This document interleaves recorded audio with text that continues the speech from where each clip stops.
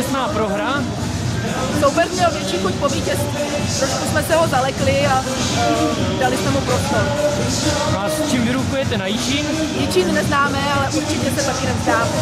Takže postup, postup ze skupiny si myslíte, že dopadne dneska? Doufáme, že jo. Tak jo. Věříme v to, věříme. Dobře, hodně štěstí, díky.